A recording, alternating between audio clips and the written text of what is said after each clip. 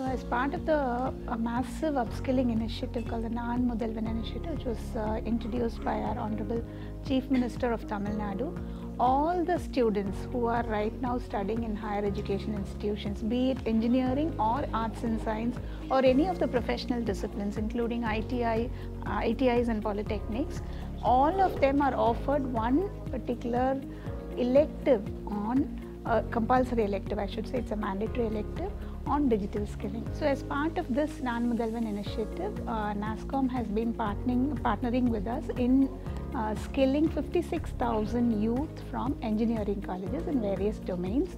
They are uh, they have been structured in such a way that it is a project-based experiential learning module in which students get to learn on real-time industry use cases. So the confidence that this kind of an experiential learning uh, has given the students is amazing.